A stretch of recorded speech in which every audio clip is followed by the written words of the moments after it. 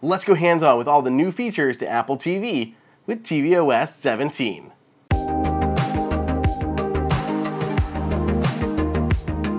Welcome, friends, to AppleInsider. It is Andrew here, and this fall, Apple is set to release tvOS 17. This is the biggest update in some time for the Apple TV. There's a lot of new features to check out. Apple TV has always been one of my pet platforms that I absolutely love, and I think it gets underappreciated among everything else that Apple does. I mean, iPhone, Apple Watch, Mac, it's all very big and fun, but the Apple TV, seriously, I love this set top box. So with this update, there's a bunch of new stuff, and I'm going to show you all of it in this video. Let's go ahead and grab my Apple TV remote. Got our Apple TV up and running. Let's take a look. The first thing to note is there's now an additional column of icons. You can fit one more row. Before there was five across, now there are six across. I know this seems very small, but it honestly makes navigating this thing faster because you don't have to go down as much. It's really nice to be able to fit just a bit more on your screen at one time. So the, of course, the first thing to talk about is right there on the right side of the screen, and that is the new set of FaceTime. Apple has added FaceTime and the continuity camera APIs to the Apple TV. To start a FaceTime call using your Apple TV, you have a couple options. First, you can just start it on your iPhone and then transfer it to your Apple TV via handoff and continuity, or you can just open the FaceTime app and then choose yourself from the list of users. In this case, we're just going to choose me, because that's who I am. It's then going to give me this alert to continue on my iPhone. And I have a little alert that popped up here on my iPhone. I'm to tap accept. And it's going to go ahead, tell me to place my iPhone to continue. So I'm to go ahead, take my iPhone, and I'm to mount it onto a little mount here so that I can better see myself. As you can see, my iPhone is positioned and it's going to recognize that and pull me up on the Apple TV.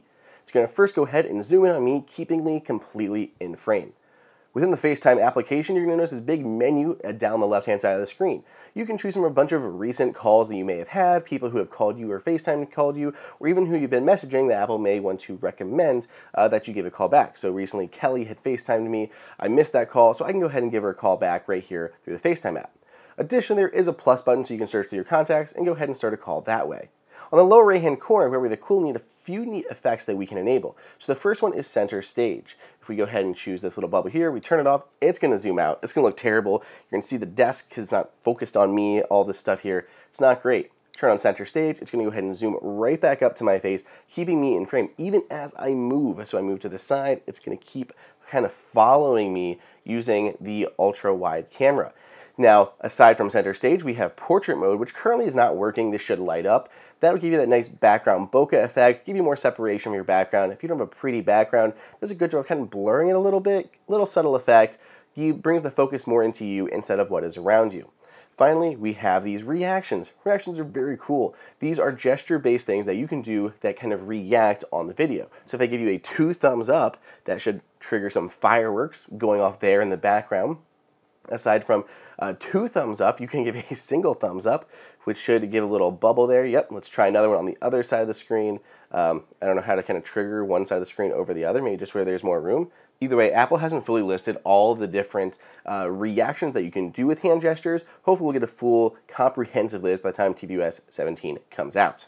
Apple didn't just bring FaceTime to the Apple TV, it brought the entire continuity camera API and framework for third-party developers to use too. We could see this in a bunch of different third-party applications, and Cisco by WebEx and Zoom have already announced their support coming later this year.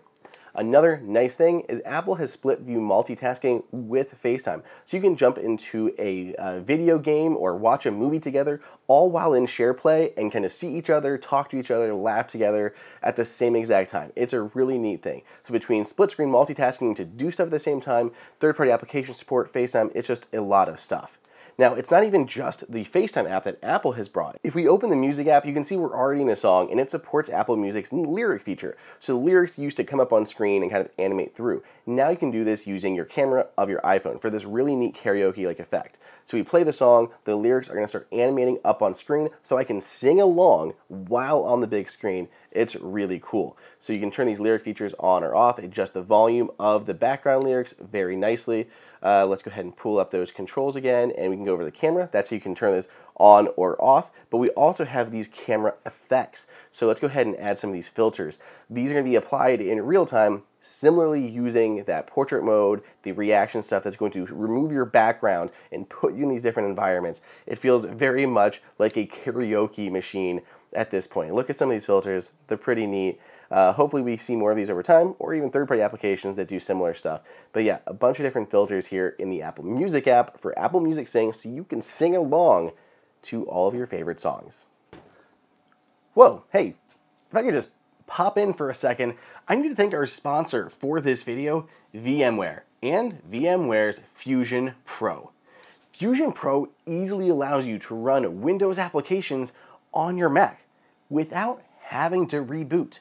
You can easily switch between your native macOS applications and your Windows applications on the fly for a near perfect user cross-platform experience.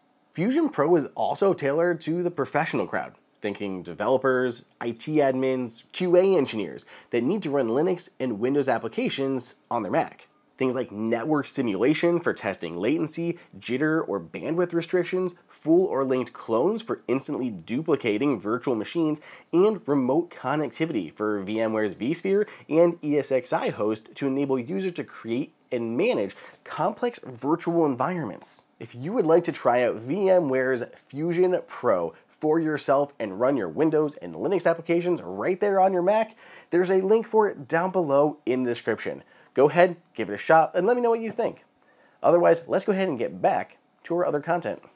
The next new feature coming to Apple TV is a redesigned control center. You can see it persistently lives in the top right hand corner of your screen. You can see new system information such as the time, connect accessories like maybe your AirPods. We can see that the continuity camera is active at the moment and the active profile of whoever is signed in.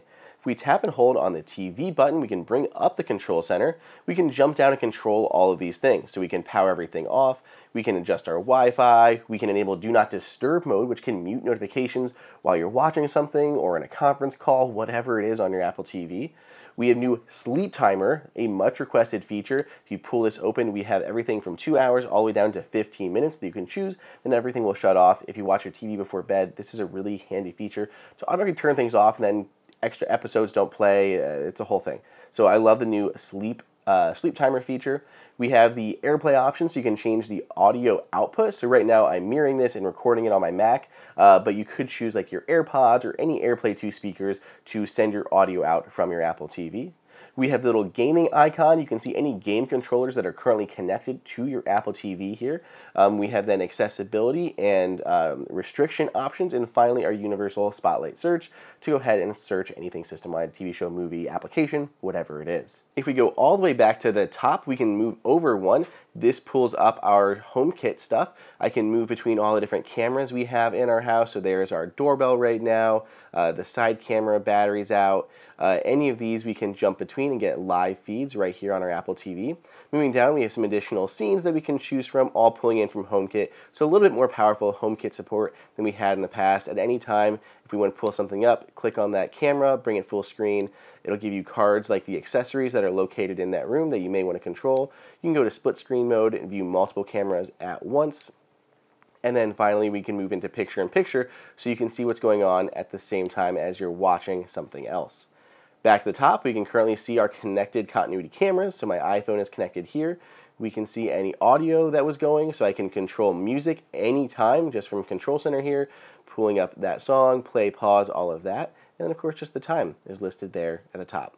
If we go to profiles, you can choose between the profiles on the Apple TV, and if you wake your Apple TV using the remote app on your iPhone, that will actually sign you in automatically to your active profile. So you won't have to switch profiles if you use your iPhone to wake up your Apple TV. Really neat little touch there.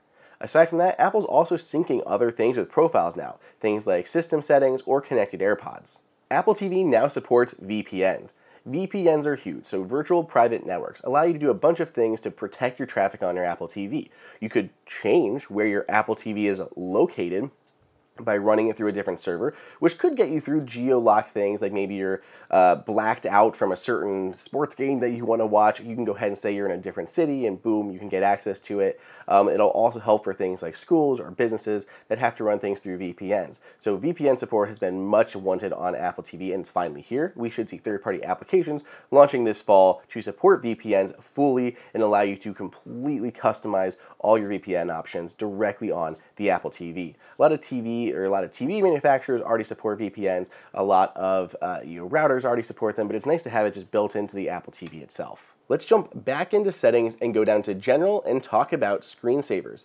Apple has a few new screensaver options for the Apple TV. So first, for aerial, these are Apple's kind of high flyover ones. Apple's added new locations for Arizona's Monument Valley and California's coastal redwoods. Neither of these are currently active in the beta, so we can't actually show them to you and see how they look, but they will be added in a future update by the time this is fully released. Additionally, if we change it to My Photos and we want to use memories, this is pretty cool. So they're actually able to pull memories from your phone, your Photos app, and give you these customized, personalized memories curated from your photos. So you can see all sorts of memories played back as your screensaver. And these work for both your personal album, your shared album, or both together. Here's a really cool one of my wife and I back in 2020. So I, apparently we got some Monument Valley stuff in here because there's Horseshoe Bend out in Arizona. So I guess we're gonna pull in some of those anyway. But uh, yeah, these curated memories, they're super awesome. I love these here in tvOS 17. Let's talk about the Apple TV remote. This has been a long time coming. If you've ever had any of Apple's remotes, you know that they can get lost very easily. I actually liked the old remotes a lot. The new ones, they're just fine. I don't have a problem with them. But what I do have a problem with is that Apple never added Find My support to these. So you can never find them using the Find My app. There's no U1 chip for precision tracking. There's no speaker to help them make noise if they fall into a couch cushion. Nothing at all. But Apple is somewhat remedying that here with tvOS 17. If you have the latest Apple TV 4K and the newest Siri remote, the second generation Siri remote, you can now use your iPhone to find your remote. When you go into Control Center and open up your remote there, there will be a new button that will allow you to find your Apple TV remote. Basically, it'll look similar to the Find My app with a big blue bubble kind of expanding as you get closer and closer to your Apple TV remote, helping you locate it. It's using Bluetooth proximity, so it's not as accurate as the U1, but it should help you in finding it in your living room, in your couch, in a blanket, whatever it is. If you've got your Apple TV 4K paired with a second generation HomePod, then you can experience the new enhanced dialogue feature. This is really cool, though again it's limited to the second generation full-sized HomePod. Essentially what this does is pull the audio track out of the mix and brings into the foreground and reducing the background sounds, allowing you to more easily hear what people are saying on screen. It's a very nice effect, and again, it only works with those new HomePods, but I think it's going to help a lot of people in picking up what people are saying. Honestly, I use my HomePod minis in my bedroom, and sometimes the dialogue gets very muddied. I really wish it was actually coming to more speakers besides the full-size HomePods, maybe I'm just going to have to upgrade my bedroom speakers to the full-size ones to get that better dialogue experience. With tvOS 17, Apple supporting Dolby Vision's 8.1 profile. Now, 8.1 doesn't have any quality improvements necessarily over the other versions of Dolby Vision, but it has one very nice quality of life improvement, and that has automatic fallback to HDR10. So if you're playing something, it doesn't support Dolby Vision or whatever, you can fall back to HDR10 and still get that good quality. Without that, it would just fall back to SDR, non-high dynamic range, just standard dynamic range, and it won't look as good. So by using this, it's able to fall back to a higher quality before going to SDR. So if you are watching something with Dolby Vision, you're going to get the best video quality, even if your TV and everything doesn't fully support it. So it's a really nice feature to have, uh, at least having some fallback option. Finally, let's go to the fitness app. I'm to go ahead and pair this with my Apple Watch, choose Apple Watch there, I'm going to confirm right here. Now that we're connected, let's take a look at the new features coming to fitness. First, let's go ahead and start a workout. How about uh, strength with Sam? Let's go ahead and pull this one up. So Apple has created a new feature called Audio Focus. If we go ahead and tap the back button to pull up the on-screen controls, going to let the workout resume. We're to move up to the bar and go over to the audio option. Now you can see we have these audio hints that have been here, but we can turn these things on for audio focus. You can choose whether you want to focus on the trainer's voice and their direction or on the background music. Some people just want to listen to the background music and follow along visually. You've done this workout before and you just want to focus on the task. Whether you're meditating or whatever, you can now focus more on that background track, reducing the trainer's volume. Or you really want to hear what they are saying and focus along, listen to them and their motivation, so you can switch that focus over to the trainer. So it's nice to give that new option to choose which audio you'd like to hear more of. Down here at the bottom, Apple is giving you two new options to help manage your workouts. First is stacks. Stacks allow you to take multiple workouts and put them into one group that you can do back to back to back. It's really handy because before you would finish a workout, then you'd have to go back to the, the page or the library, find the next one you want to do, then start it. Now you can just group them together and do them continuously with no pause in between, or you can pause if you need to. Then we have these custom plans. Custom plans, they're created on your iPhone. When you create one for the first time, it'll pop up on your iPhone allowing you just to get started. You can add anything you want to for these custom plans, so you can choose the days of the week, the types of workouts that you want to do. You can filter by trainers and music type, and create this custom workout plan that meets your needs. You can run it for as long as you need to, and then Apple will just give you this plan of these are the workouts you're going to do over this period of time and these days. So I've gone ahead and created one now on my iPhone. You can see my plan. Today we have a kickboxing with Jamie Ray up. I can also view my plan. I can see what I have on set for today. I've got a core, uh, kickboxing, then a meditation. There's week one, week two, week three, week four, week five. That's how long this plan is and all the different uh, content that's been put into it. So I can see what I'm going to be doing and when, and it can help you stick with it, stick with your schedule and what you want to be doing. It's really cool. I love these workout plans. This is going to be huge. My wife is already a big fan of this and she can't even use it yet. Uh, but this is going to be a big game changer for people who are really using Apple Fitness Plus. So that covers it. Those are the new features coming to the Apple TV as part of tvOS 17. It'll be available later this year as a free update for Apple TV users. Let me know what you guys think down below in the comments or on Twitter at Andrew underscore OSU, and I want to know your favorite new features. Are you excited for these changes coming to Apple Fitness Plus? Are you excited to belt along to your favorite tracks with Apple Music Sing? Or are you just excited to see cameras coming to the Apple TV for the first time? This is all a big deal. I'm very excited, and let me know what you guys think. Otherwise, I'll catch you in the next video.